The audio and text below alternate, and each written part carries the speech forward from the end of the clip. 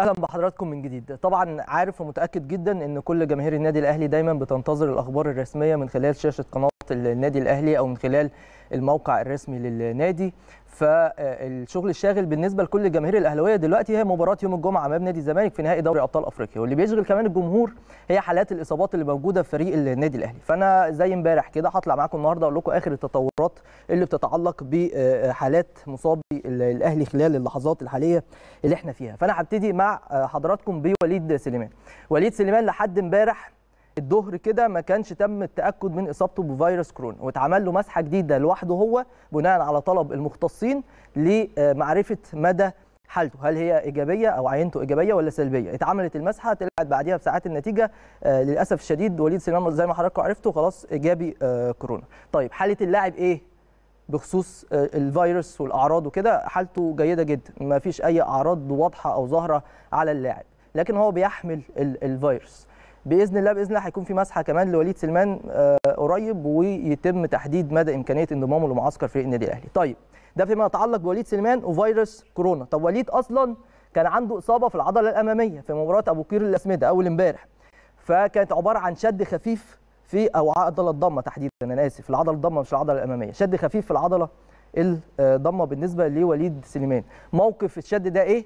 لا بسيط جدا واللاعب بمجرد بإذن الله تعالى لما تتحول عينته من إيجابية لسلبية ينضم لمعسكر الفريق بشكل طبيعي ويشارك مع اللاعبين في التدريبات الجماعية ويستعد للمباراة النهائية. بإذن الله بإذن الله تكون حالته اتحسنت ويكون العينة اتحولت لسلبية بإذن الله. ده موقف وليد سليمان. الأمور بالنسبة له ماشية بشكل جيد. نتمنى له طبعا الشفاء العاجل سواء هو أو ابنه بإذن الله تعالى يتم شفائهم من فيروس كورونا.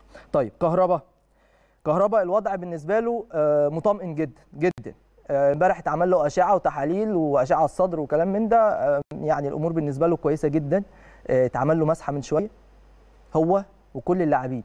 أنا وأنا بتكلم مع حضراتكم في اللحظات دي في مجموعة عملت المسحة خلصتها خلاص وفي مجموعة أخرى وأنا بتكلم معاكم كده بيعملوا المسحة الجديدة بالنسبة لهم. عشان بعديها يتم الإعلان بإذن الله على نتائج هذه المسحة.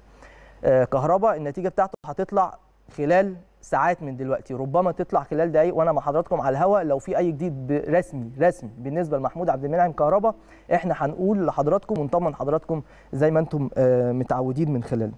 ده فيما يتعلق بكهربا. مجرد برده ما العينة بتاعته تتحول لسلبية بإذن الله ينضم للمعسكر على طول نفس الحال بالنسبة لصالح جمعة.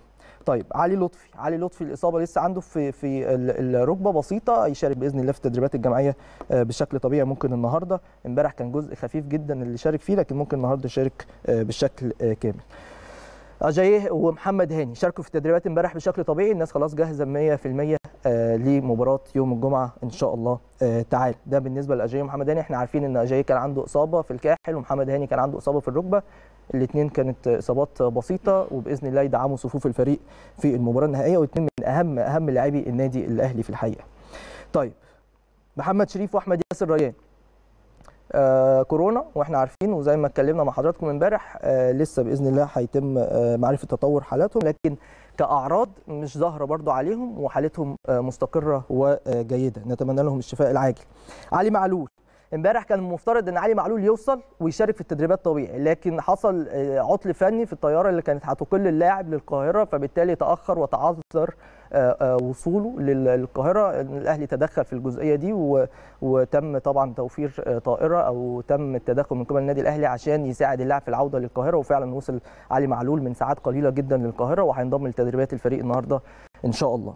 وعلي معلول طبعا يعني أهميته معروفة بالنسبة للجميع. نتمنى له كل التوفيق مع الفرقة. ده فيما يتعلق بحالات الإصابة الخاصة بفريق النادي الأهلي.